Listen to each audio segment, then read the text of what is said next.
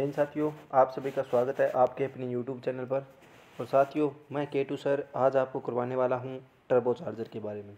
ठीक है दोस्तों, पिछली अपनी क्लास में अपने पढ़ा था सुपर चार्जर और आज की जो अपनी क्लास है, उसमें पढ़ने वाले अपने टर्बो चार्जर टर्बो चार्जर क्या होता है, इसकी क्या क्या संरचना होती है, किस प्रकार ये वर्क करता है, इसकी आवश्यकता क्यों पड़ी, यह मैंने आपको पिछले वीडियो में बताया था, क्योंकि सुपर चार्जर से क्या हो रहा था सुपर चार्जर से अपने इंजन की जो शक्ति है, उसी को प्रयोग में लेकर इंजन की शक्ति को बढ़ा रहे थे, जिससे क्या था, इंजन की शक्ति का ह्रास हो रहा था, लेकिन टर्बो चार्जर इसके बिल्कुल विपरीत है।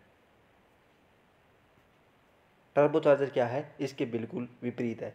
तो इसके बाद देखिए, भाई, आज की वीडियो में हम क्या जानेंगे? आज की वीडियो में जानेंगे टर्बो चार्जर का परिचय टर्बो चार्जर के कार्य टर्बो चार्जर की संरचना और टर्बो चार्जर के लाभ और हानि। टर्बो चार्जर क्यों ज़रूरी है? ये भी अपने देखेंगे कि टर्बो चार्जर की ज़रूरत क्या है इंजन में? ये किस प्रकार वर्क करता है? क्या इसकी ज़रूरत है? ठीक है दोस्तों तो चलिए ये जो अपनी क्लासेज है, ये चल रही है बीआरओ के लिए। दोस्तों, आप याद रखना बीआरओ की जितनी भी क्लासेज मैंने इस चैनल पर कराई है, उसको सारियों को आप देखो, जिससे आपको क्या होगा कि आपकी जो पार्ट जो इंजन के पार्ट्स है, उसके ऊपर मैंने वीडियो बनाई है सारी। उससे क्या होगा कि आपको पता चलेगा कौन से पार्ट का क्या कार्य होता है इंजन में जिससे आपका एग्ज़ाम में एक भी सिंगल क्वेश्चन भी आपका गलत ना हो। ठीक है? इसके बाद अपने एम सी क्यू बेस लेके आ रहे हैं। M C Q base M C Q base से क्या होगा कि उससे अगर कोई भी क्वेश्चन आपकी थ्योरी में, मैंने जितने वीडियो कराए हैं, उसमें छूट गया है तो वो वो चीज़ अपने जो एम सी क्यू बेच है, उसमें कंप्लीट कर लेंगे। ठीक है दोस्तों? तो चलिए शुरू करते हैं आज का वीडियो। तो इस वीडियो में क्या है? पहले देखते हैं परिचय टर्बो चार्जर का परिचय। आईसी इंजन, यानी इंटरनल कंबसन इंजन में उत्पन्न पावर कंप्रेशन फोर्स के अनुसार होती है। यानी पावर जो होती है वो कंप्रेशन फोर्स यानी कि जो हवा का दबाव होता है, उसी के अनुसार होती है। कंप्रेशन अधिक होने पर इंजन का आउटपुट अधिक होगा। ठीक है? क्या होता है कंप्रेशन अनुपात में? क्या होता है? इंटरनल कंबसन में क्या होता है कि अगर हवा का जो प्रेशर है, वो जितना ज़्यादा होगा, इंजन की पावर उतनी ज़्यादा होगी। ठीक है दोस्तों? तो देखिए, पहला क्या है? कंप्रेशन को बढ़ाने के दो तरीके हैं। पहला तरीका कौन सा है? पहला तरीका देखते हैं अपने। इंजन की आंतरिक रचना में परिवर्तन करना, जिससे कंप्रेशन रेशो बढ़े। ठीक है?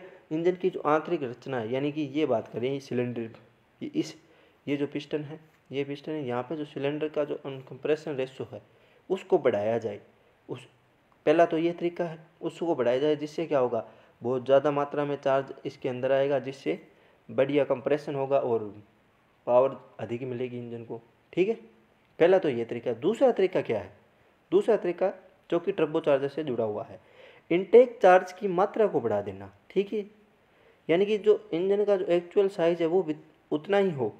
लेकिन उसके अंदर जो चार्ज आ रहा है, उसकी मात्रा को बढ़ा देंगे। जिससे क्या होगा? उसकी जो चार्ज है वो अधिक होगी। इनटेक चार्ज की मात्रा को बढ़ाना। इसके लिए चार्ज को अधिक से अधिक प्रेशर से भेजना पड़ता है और इससे अधिक पावर उत्पन्न होती है। ये ट्रबो चार्जिंग और सुपर चार्जिंग से किया जाता है। ये जो चीज़ है, ये ट्रबो चार्जिंग और सुपर चार्जिंग सुपर चार्जिंग अपने पिछले वीडियो में कर चुके हैं। आज अपने करने वाले हैं ट्रबो चार्जिंग ठीक है दोस्तों? तो चलिए शुरू करते हैं आगे की कार्रवाई। ये देखिए, ये जो डायग्राम मैंने आपको दिखाया है, ये है सुपर सॉरी ट्रबो चार्जर ठीक है? ये ट्रबो चार्जर होता है, ये किससे चलता है? ये आगे बताएँगे आपको। ठीक है? तो देखिए, ये जो टर्बो चार्जर हैं, इसके दो केसिंग बने होते हैं हाउसिंग बने होते हैं दो, ठीक है? एक के अंदर क्या होता है? टर्बो चार्जर होता है, वो एग्जॉस्ट गैस होती है इंजन की, यानी कि जो धुआँ होता है, उसी के द्वारा चलाया जाता है, ठीक है? तो ये है टर्बो चार्जर का डायग्राम ठीक है?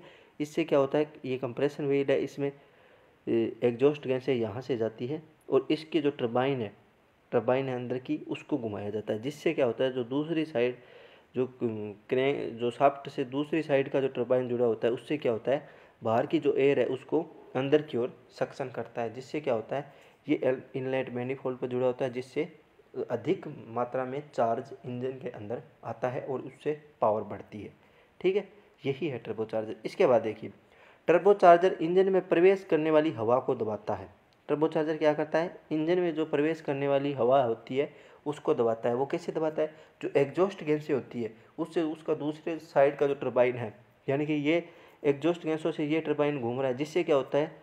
जो दूसरी साइड का टर्बाइन है, ये ये घूमता है, जिससे क्या होता है कि जो बाहर की हवा है, वो अंदर की ओर खींचता है और उसको प्रेशराइज करता है। ठीक है? इसके बाद देखिए आगे, उच्च दबाव में वो सिलेंडर को भेजता है। हवा का दबाव बढ़ता है, जिससे हवा का घनत्व भी बढ़ता है। इससे इंजन में आयतनिक क्षमता बढ़ जाती है, यानी कि जो उसकी पावर के लिए प्रयोग होने वाले जो वॉल्यूम होती है, वो बढ़ जाती है, जिससे ईंधन जलता है और अधिक पावर उत्पन्न होती है। ठीक है? जैसे ये सिलेंडर है, इस सिलेंडर में अगर अधिक हवा के साथ अपने जो इंजेक्टर के माध्यम से फ्यूल को ऑटोमाइज करेंगे, यानी फुहारे के तौर पे फ्यूल को अंदर छोड़ेंगे तो यहाँ पे अगर हवा का घनत्व अधिक है, यानी कि जो कंप्रेशन रेशो है वो अधिक है तो उससे क्या होगा कि पावर भी अपने को अधिक ही मिलेगी। ठीक है दोस्तों? चलिए आगे चलते हैं। इसके बाद देखते हैं टर्बो चार्जर की संरचना। यानी टर्बो चार्जर की संरचना में देखते हैं अपने कि कैसे वर्क करता है। टर्बो चार्जर के दो वहील होते हैं। कौन कौन से होते हैं? पहला होता है टर्बाइन वहील दूसरा होता है कंप्रेशन व्हील वो एक ही साफ्ट पर स्थित होते हैं। ठीक है दोस्तों? वो एक हिसाब साफ्ट ये देखिए, ये क्या है? ये है इसका, ये है कंप्रेशन टर्बाइन है और ये है एग्जॉस्ट टर्बाइन ठीक? और ये क्या होते हैं? एक हिसाब से जुड़े हुए होते हैं, ये देखिए, एक हिसाब से जुड़े हुए हैं, ठीक है दोस्तों? आगे देखिए, दूसरा देखिए, अगर एक व्हील घूमता घूमता जाता है तो दूसरा भी घूमेगा। टर्बाइन व कंप्रेशन व्हील अलग अलग हाउसिंग में स्थित होते हैं। देखिए, यहाँ पर ये टर्बाइन और कंप्रेशन दोनों अलग अलग हाउसिंग है। ये हाउसिंग है ऊपर वाला जो कवर है, उसको हाउसिंग बोलते हैं। ये अलग अलग हाउसिंग के अंदर स्थित है। ठीक है? इसके बाद आगे देखिए टर्बाइन व कंप्रेशन अलग अलग हाउसिंग में स्थित होते हैं। टर्बाइन व्हील जिसमें स्थित होता है टर्बाइन व्हील जिसमें स्थित होता है, उसे टर्बाइन हाउसिंग कहते हैं। कंप्रेशन व्हील जिसमें स्थित होता है, उसे कंप्रेशन हाउसिंग कहते हैं।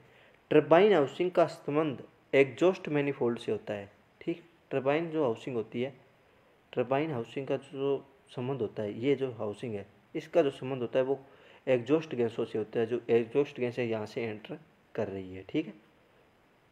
जिससे ये टर्बाइन घूमेगा, उससे क्या होगा, ये साफ्ट एक ही साफ्ट से दोनों टर्बाइन जुड़े होते हैं, जिससे ये टर्बाइन भी घूमेगा, जिससे कि कंप्रेशन एयर जो फ्रेश एयर है, वो इंजन के अंदर आएगी, ठीक है दोस्तों? चलिए आगे चलते हैं। अब देखते हैं ट्रबो चार्जर के कार्य।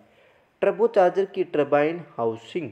ट्रबो चार्जर की टर्बाइन हाउसिंग के इनलेट के द्वारा एग्जॉस्ट गैस टर्बाइन हाउसिंग में प्रवेश करती है, ठीक है? ट्रबोचार्जर की टर्बाइन हाउसिंग के इनलेट के द्वार, द्वारा एग्जॉस्ट गैसें टर्बाइन हाउसिंग में प्रवेश करती है और टर्बाइन व्हील को घुमाती है, ठीक है दोस्तों? टर्बाइन व्हील के घूमने से कंप्रेशन व्हील भी घूमता है, ठीक है? इस इस टर्बाइन व्हील के घूमने से क्या होता है? ये जो टर्बाइन व्हील है, इससे घूमने से ये कंप्रेशन व्हील भी घूमता है, ठीक है? कंप्रेशन व्हील जिससे वह शुद्ध हवा को वायुमंडल में खींचता है और इस उच्च दबाव वाली हवा को, इस उच्च दबाव वाली हवा को कंप्रेशन व्हील द्वारा कंप्रेशन करके कंप्रेशन हाउसिंग आउटलेट द्वारा, ठीक है? कंप्रेशन व्हील द्वारा कंप्रेशन हाउसिंग के अंदर आउटलेट करके कंप्रेशन जो इनलेट मैनिफोल्ड है उसके अंदर सीधी भेज दी जाती है। ये देखिए, ये है कंप्रेशन टर्बाइन और ये है कंप्रेशन हाउसिंग इसके द्वारा इसको बाहर भेज दिया जाता है प्रेशराइज करके। ठीक है दोस्तों? अब देखिए आगे मैनीफोल्ड में भेज दिया जाता है, जिससे इंजन सिलेंडर में प्रवेश करने वाली हवा की मात्रा बढ़ जाती है। यानी कि जो इंजन का सिलेंडर है, उसके अंदर हवा की मात्रा बढ़ जाती है, जिससे जो इंजन के अंदर आने वाला चार्ज है, वो, बढ़िया तरीके से भर जाता है इंजन और उसके अंदर फ्यूल का इंजेक्शन किया जाता है, जिससे पावर जो होती है वो इंजन की बढ़ जाती है। ठीक है दोस्तों? चार्ज बढ़ने के साथ ही। इसके बाद देखिए, ये रहे। एक डाइग्राम के माध्यम से मैं आपको, ये कंप्रेशन इनलेट लगा हुआ है। यहाँ से क्या होता है? यहाँ से ये हुआ, इसके अंदर आगे इससे पहले क्या होता है? इंजन की जो एग्जॉस्ट गैसें हैं, यानी कि जो एग्जॉस्ट गैसें पीछे क्या था? सुपर चार्जिंग में क्या था? सुपर चार्जिंग में अपने इसको किसके माध्यम से चला रही थी? इसको क्रैंक साफ्ट के द्वारा चला रही थी, जिससे क्या होता था? इंजन की जो एनर्जी है, उसका हरास करके अपने इंजन की एनर्जी को ही बढ़ा रहे थे। तो इसमें क्या होता है? इसमें ये सोचा गया कि क्यों ना जो इंजन के जो ऐसी, इंजन की जो एग्जॉस्ट गैस है, उसको प्रयोग में लाया जाए, जिससे क्या होगा? ये तो ये इंजन का जो इंजन की एनर्जी का एक तरीके से वेस्ट ही हो रही थी ये एनर्जी। इसका कोई प्रयोग तो हो ही नहीं रहा था। इसी को प्रयोग में लाया जाता है। इससे क्या होता है, देखिए इंजन की जो एग्जॉस्ट गैस है, ये तो बाहर जाएगी। ये ये बाहर जाएगी तो इससे क्या होगा, ये जो एग्जॉस्ट टर्बाइन है, इस टर्बाइन से जो टर्बाइन एग्जॉस्ट है, उससे टकराएगी।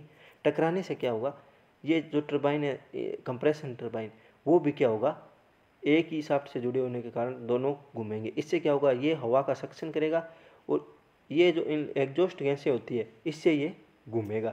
इसके बाद क्या होता है, ये जो अंदर कंबसन करता है, ये जो कंप्रेशन टर्बाइन है, वो हवा को जो कंप्रेशन करता है, जिससे क्या होता है, घर्षण अधिक होने के कारण हवा की जो गर्मी है, वो बढ़ जाती है। और यही सुपर चार्जर में होता था कि अगर वो हवा की बहुत मात्रा में अगर इनलेट मैनिफोल्ड एग्जॉस्ट यानी कि सॉरी कंबसन करेगा हवा का तो उससे हवा की गति बढ़ने से, हवा का घर्षण होगा, घर्षण होने से हवा गर्म होगी। अगर हम गर्म हवा सीधी इनलेट मैनिफोल्ड को दे नहीं सकते, जिससे क्या होगा? प्री नोकिंग की समस्या आ जाए नोकिंग की समस्या आ जाए क्योंकि इंजन पहले ही जल जाएगा हवा गर्म होने से कंप्रेस हवा हवा के कंप्रेस होने से पहले ही इंजन जल जाएगा, क्योंकि गर्म हवा अंदर जा रही होगी। इससे क्या होता है, ये जो गर्म हवा आती है, उसको पहले एयर कूलर से जो एयर कूलर है, उससे गुजारा जाता है, जिससे ये हवा ठंडी हो जाती है। एक नॉर्मल हवा के तौर पर इसको इनलेट मैनिफोल्ड में भेज दिया जाता है, जिससे ये बढ़िया तरीके से कंप्रेसर होकर एक पावर स्ट्रोक के रूप में कार्य करती है। ठीक है दोस्तों तो ये था अपने ट्रबो चार्जर आगे देखिए।